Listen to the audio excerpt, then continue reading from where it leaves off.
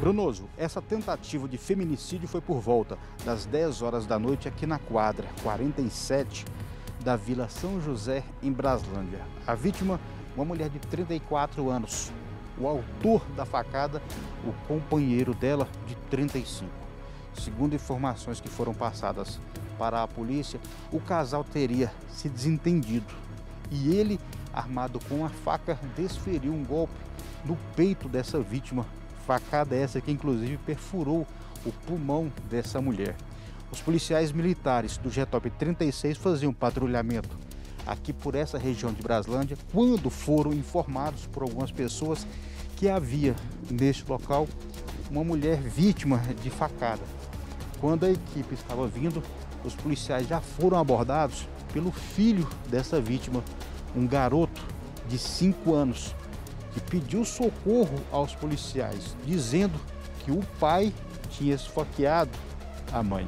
O jeito top 3 meses estava em patrulhamento na região da quadra 46 e 47 da Vila São José, quando perceberam ali uma situação de populares chamando a viatura, tinha uma criança lá com manchas de sangue no chão e foram verificar a situação, o cara tinha desferido facadas ali contra a companheira dele, né? Quando os policiais chegaram aqui neste local, a vítima estava sentada exatamente aqui tem algumas marcas de sangue.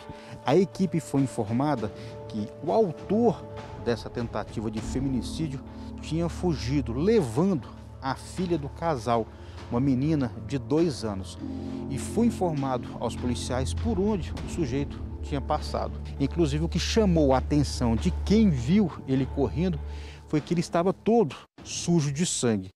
Os policiais foram até a casa da mãe desse sujeito, chamaram por ele, ele teria aparecido na janela, mas não abriu a porta. Os policiais então entraram na casa e o sujeito estava no quarto segurando a boca da menina para que ela não chamasse, não gritasse.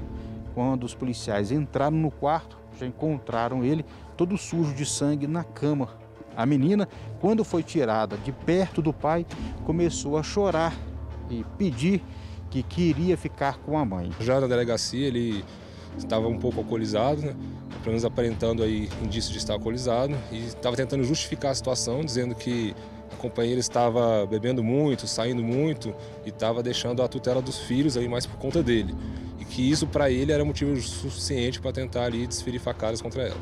Socorrida pelo Corpo de Bombeiros, a mulher foi levada para o Hospital Regional de Braslândia e, assim que deu entrada, já foi encaminhada para a sala vermelha por causa da gravidade.